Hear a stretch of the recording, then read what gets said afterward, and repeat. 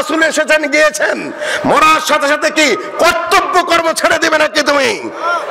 তোমাকে ইমানের উপর কায়েম থাকতে হবে, ইসলামের উপর কায়েম থাকতে হবে, দিন বাঁচাতে হবে, ইমান বাঁচাতে হবে, দাওয়াতি কাজ করে যেতে হবে, ইসলামী বিধিবিধান, পূর্ণাঙ্গ বাস্তবায়নের জন্য তোমার জীবন বন সংগ্রাম করতে হবে। রাসূল এদেশে এসেছেন আদর্শ দেখিয়ে দেওয়ার জন্য, প্রচার করার জন্য, বুঝিয়ে দেওয়ার জন্য, তার দায়িত্ব যদি শেষ হয়ে থাকে, আল্লাহ তাকে নিয়ে যাবেন, তোমার কর্তব্য তো শেষ নয়। বললেন যে আপনি এরকম ওপেনলি বলছেন? হ্যাঁ আগে কোনোদিন বলি নাই। দিস ইজ ভেরি টাইম সময় হয়ে গেছে বলার জন্য। সম্ভবত সম্ভবত এই জন্য আমাকে এই সাবজেক্টটা দেওয়া হয়েছে বিরলের এই বিরল মহা সম্মেলনে সম্মানিত উপস্থিতি, আল্লাহ পাক নিজে বলে দিচ্ছেন, সূরা আল ইমরানের কত নম্বর আয়াত তেলাওয়াত করেছি? তোমার তো মনে থাকে সংখ্যা একশো চার নম্বর, তাই না? ওয়া তাসিমু। মানে হলো, উর্দুতে আমরা ছোটকালে পড়েছি, যখন মিজান মুন সাহেব পড়ি, আরবি ভাষা ব্যাকরণের একটা সাবজেক্ট ইটিওলজি বলা হয়, শব্দতত্ত্ব, শব্দতত্ত্বের থেকে বলা হয়, আরবি ভাষার প্রত্যেকটা শব্দ দাড়ি পাল্লায় মেপে আসে, মাপের বাইরে কোনো শব্দ চলবে না, একেবারে কবিতাও মাপা, কবিতাও মেপে মেপে হবে, খালিল নামে একজন আরবি ভাষাবিদ উনি প্রথম কবিতার মাপটা তুললেন। মাপতেছেন আর কবিতা থাদ্দা থাপ্পড় দিচ্ছেন, শব্দ মিলাচ্ছেন। তার ছেলে মনে করেছে, বাবা বোধহয় পাগল হয়ে গেছে। পুলিশ ডেকে নিয়ে এসেছে, বাবা পাগল হয়ে গেছে, চিকিৎসার ব্যবস্থা করেন। খলিল ইবনে আহমদ আল আরুদের তোমরা তো আরবি ভাষা সাহিত্যের ছাত্র। ভাষা মেপে, শব্দ মেপে, আরবি ভাষা চলে, আরবি কবিতা চলে, ইত্যাদি ইত্যাদি। ছোটকালে আমরা যখন ওইটা পড়েছি, এতেসাম মানে হলো চাঙ্গল পাকড়রা। উর্দুতে ফার্সিতে চাঙ্গল বলা হয় নখকে। চিলের যেরকম নখ আছে, শকুনের নখ আছে, ছোট একটা চিল দেখবেন যে পাঁচ কেজি ওজনের একটা রুই একেবারে আঙ্গুল ঢুকে এনে উড়ে চলে যাচ্ছে, ছোটে না। এটার নাম কি? গ্রিপ করা। ক্রিকেট খেলা তো তোমরা অনেকেই দেখো, তাই না? বলে যে খুব বেশি শিশির যদি পড়ে, তাহলে স্পিনাররা গ্রিপ করতে পারবে না। হাতের তলা দিয়ে যে শক্ত করে ধরে গ্রিপ করা।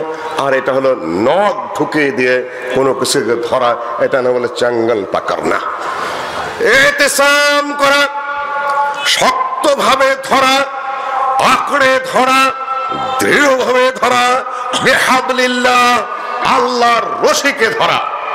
হাবলিল্লাহ ধরবেন না, আবদুল্লাহ ধরবেন। আল্লাহর বান্দাকে ধরতে বলছে না আল্লাহর রশিকে ধরতে বলছে। আল্লাহ রশি কোনটা? আল কোরআন মাতিন। আল্লাহর কালাম হলো আল্লাহর দৃঢ়তম, শক্ত রশি এটা।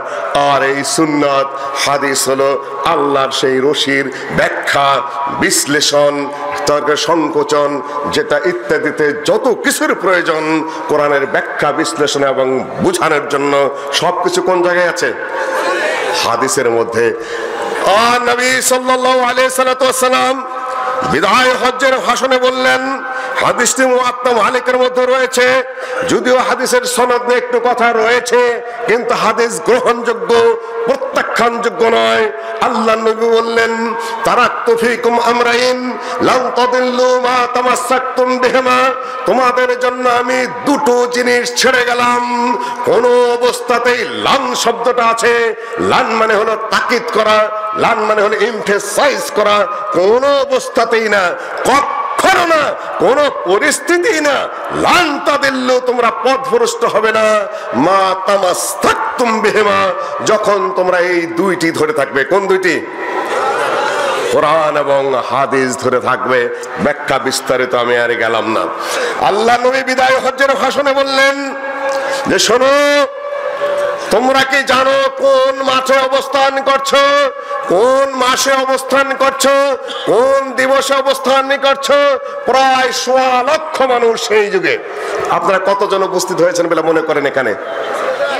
প্রায় ষোলো, সতেরো কোটি মানুষের মধ্যে এতজন, তাই না? নবী আলাইহি সাল্লাম দশম না একাদশ হিজরির হজ্জে, দশম। একাদশ হিজরি রবিউল আওয়ালে তো তিনি এই মাসে তো তিনি ইন্তেকাল করেছেন, তাই না? ইন্তেকাল কিন্তু হাদিসে আছে। সহি মুসলিমের কেতাব জোহদে আল্লাহ নবী বলেন নাই, সাহাবি বলছেন।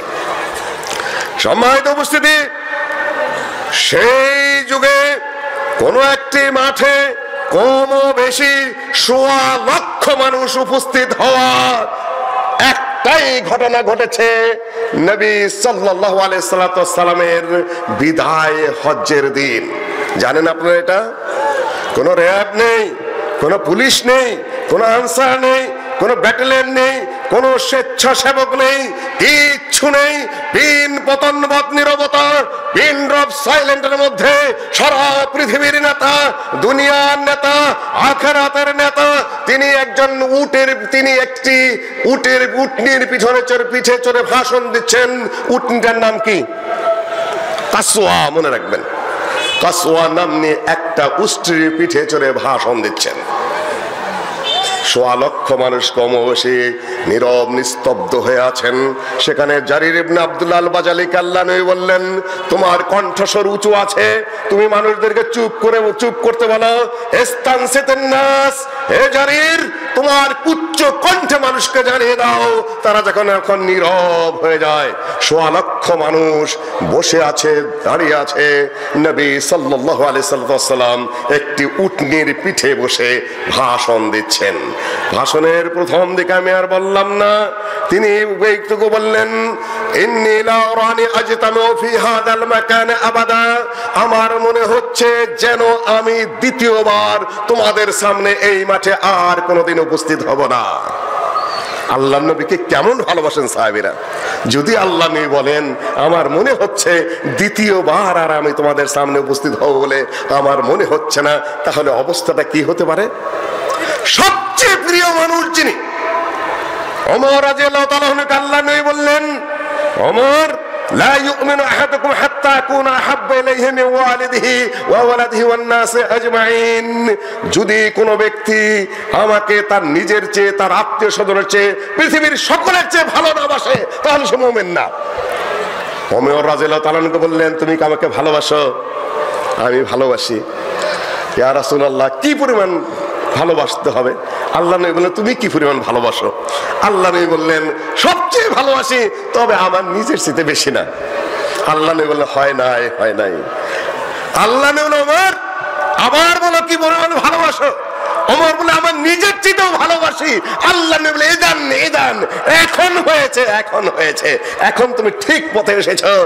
নবীকে ভালোবাসতে হবে, তার নিজের জীবনের চেয়েও পৃথিবীর সকলের চেয়ে ভালোবাসতে হবে। প্রতিটা সাহাবি সেই ভালোটাই বাসতেন। তাদের সামনে যদি আল্লাহ নবী বলেন, আমার মনে হচ্ছে আমি যেন তোমাদের সামনে দ্বিতীয়বার আর এই মাঠে উপস্থিত হব না। তাহলে তাদের মধ্যে কি অবস্থাটা বিরাজ করতে পারে? শোনো, তোমরা কোন জায়গায় অবস্থান করছ? সাহাবিরা বলেন, আমাদের মনে হলো যেন আল্লাহ নবী ভুলে গেছেন কোন জায়গায়। এটা তো আরাফার মাঠ। কোন দিবসে অবস্থান করছ? আরাফার দিনে অবস্থান করছি। কোন মাসে? দুলহাজ মাসে। কোন এলাকায়? হারাম এলাকায়। মক্কা এরিয়ার চেতে পবিত্র জায়গা পৃথিবীর বুকে কোথাও আছে? মক্কা ছাড়া কোনো পবিত্র জায়গা আছে? কই ধাঁধার জবাব যে আসতেছে না? মক্কা ছাড়া কোনো পবিত্র জায়গা আছে? মদিনাও আছে। ইন্না ইব্রাহিম হাররামা মক্কা ওয়া হাররামতুল মদিনা ইন্না ইব্রাহিম হাররামা মক্কা ওয়া দাআ ফি সাইহা ওয়া ওয়া আনা হাররামতুল মদিনা ওয়া দাআউতু লি সাইহা ওয়া ইব্রাহিম আলাইহিস মক্কাকে পবিত্র ঘোষণা করেছেন আর এর প্রতিটা শেয়ার এবং ছটাকের জন্য দোয়া করে গেছেন। বাংলা ভাষায় অনুবাদ করলাম কি? হুবহু অনুবাদ না। আর আমি নবী মুহাম্মদ মদিনাকে পবিত্র ঘোষণা দিয়ে গেলাম। এবং এর প্রতিটি শেয়ারের জন্য, ছোটাকার জন্য, প্রতিটা ইঞ্চির জন্য আমি দোয়া করে গেলাম। আর আমাদের বাংলাদেশের পবিত্র জায়গা কোনটা কোনটা? হ্যাঁ? যাক না, ওরা পবিত্রতা ঘোষণা করেনি, ভাষাগত সমস্যা আছে। সেটা হলো হজ্জের পরে দ্বিতীয় সর্ববৃহৎ সম্মেলন। হজের সাথে কারও কোনো তুলনা দিয়ে বলবেন না। আমাদের পবিত্র জায়গা বাবা খাজা আজমিরি পবিত্র জায়গা। আমাদের পবিত্র জায়গা খান জাহান আলী। আমাদের পবিত্র জায়গা হলো শাহজালাল। আমাদের পবিত্র জায়গা শাহপরান আমাদের পবিত্র জায়গা বাইজিদ বুস্তামি, চিটাঙ্গের বাইজিদ বুস্তামি। কোনোদিনও বাংলাদেশে আসেন নাই। ইরানের মানুষ ইরানে জন্মেছেন, ইরানেই মারা গেছেন। তার ছায়া পর্যন্ত, টিকিটি পর্যন্ত বাংলাদেশে আসে নাই। মিথ্যা কবর বানিয়ে নিয়ে সেখানে পুকুর বানিয়ে, সেখানে কি পালে? কাসিম পালে। আর মহিলার দেখে পানি ছিটায়। একেবারে খুবই খুবই কদর্য অবস্থায় বাচ্চা হওয়ার জন্য আমি আর ব্যাখ্যা বিশ্লেষণে গেলাম না। পবিত্রতা ঘোষণা দিয়েছে, কোন মানুষ কোন স্থানকে পবিত্র ঘোষণা করতে পারে? আল্লাহ পারেন আল্লাহ রসুল পারেন। তাছাড়া আর কারও কোনো জায়গা পবিত্র ঘোষণা দেওয়ার কোনো অধিকার নেই। কোন মুসলিম সেটা মানতেও পারে না। যাই হোক, আমি বোধহয় একটু সাইড কেটে বেশি দূরে চলে গেছি। সেখানে তিনি বললেন, শোনো আমি কয়েকটা কথা বলে যাচ্ছি। বাদি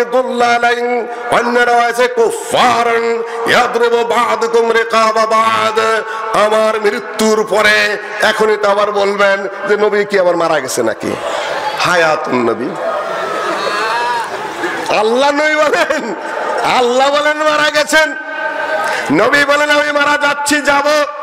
আর আমাদের ভাইরা বলে, হায়াতুন নবী নবী জীবিত। বিস্তারিত বলতে চাই না। সাহেল বুখারি বিস্তারিত হাদিস। এখন শুধু এইটুকুই বলে যাই, একটা মানুষ জীবিত আছেন, সাহাবারা যাকে এত ভালোবাসেন, তাজা মানুষটাকে নিজের এই কবর দিয়ে দিলেন। প্রশ্নটা উঠবে না? উহুদের যুদ্ধে কথা ছড়িয়ে দেওয়া হলো। কাফেররা, বেঈমানেরা আল্লাহ নবীকে শহীদ করে দিয়েছেন। মুসলিমদের মধ্যে অনেকে অস্ত্র ছেড়ে দিলেন। আল্লাহ নবী যখন বিদায় হয়ে গেছে, তাহলে আমরা যুদ্ধ করে কি করব? আয়াত কি নাজেল হলো? আয়াত কি এইভাবে নাজেল হলো? যে আল্লাহ নবী মরে নাই, চিন্তার কোনো কারণ নাই, তোমরা অস্ত্র ছেড়ে দিও না, মাঠে দাঁড়িয়ে থাকো। এইভাবে আয়াত নাজেল হয়েছে? আয়াত নাজেল হয়েছে উল্টা। ওমা মুহাম্মাদুন ইল্লা রাসূল। মুহাম্মদ কিছুই না, একজন রাসূল মাত্র।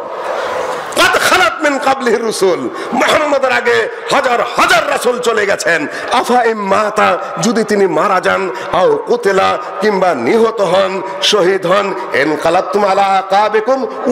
তোমরা ফেরত যাবে নাকি? কোরআন উল্টা প্রতিবাদ করে। আরে রাসূল আসবে রাসূল যাবে। হাজার হাজার রাসুল এসেছেন, গিয়েছেন। মরার সাথে সাথে কি কর্তব্য কর্ম ছেড়ে দিবে নাকি তুমি?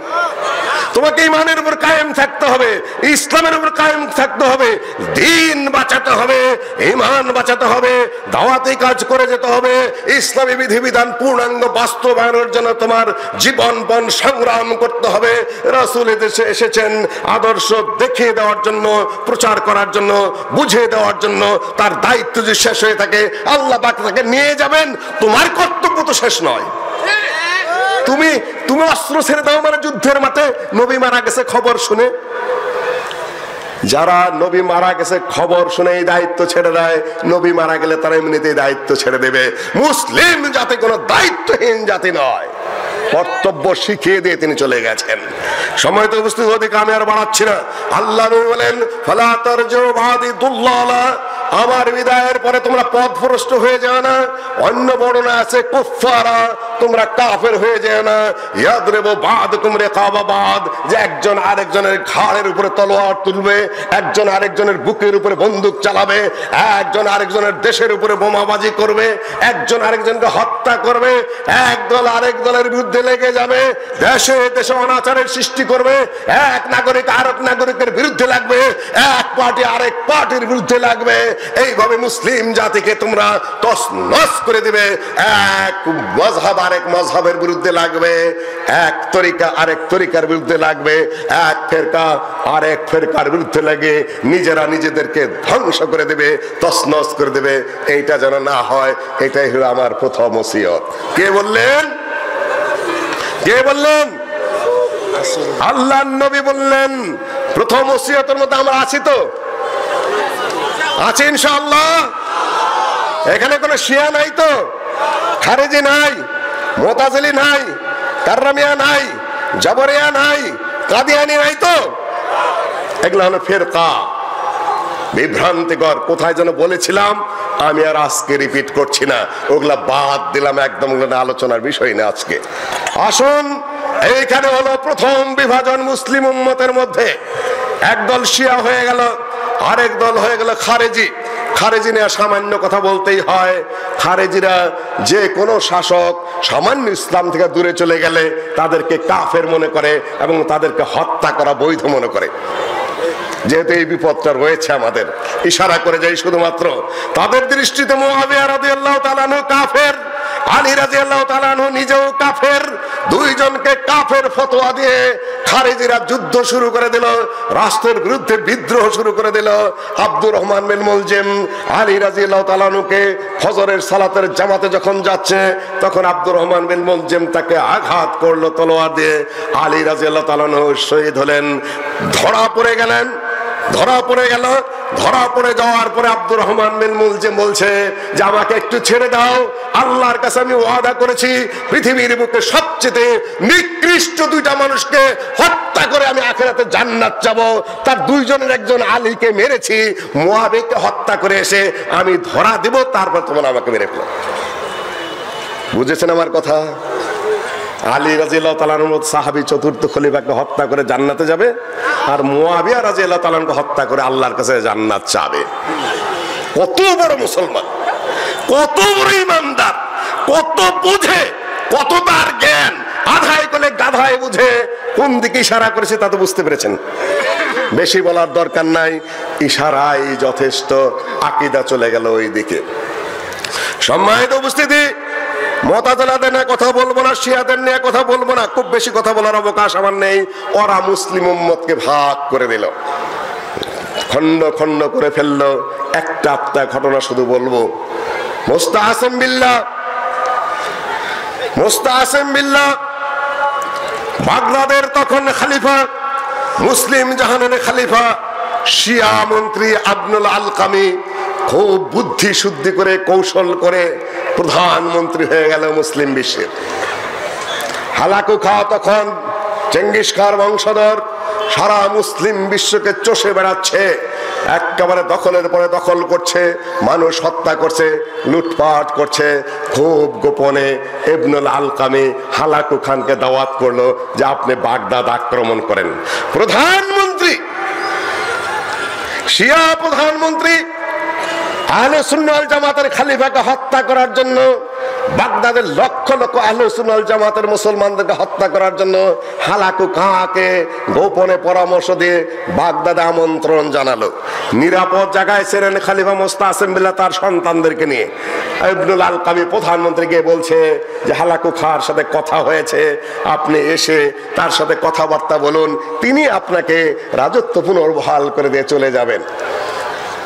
সরল বিশ্বাসে খালিফাতুল মুসলিমিন মুস্তাসিম বিল্লাহ সন্তানদের নিয়ে সামনে এসে উপস্থিত হলো।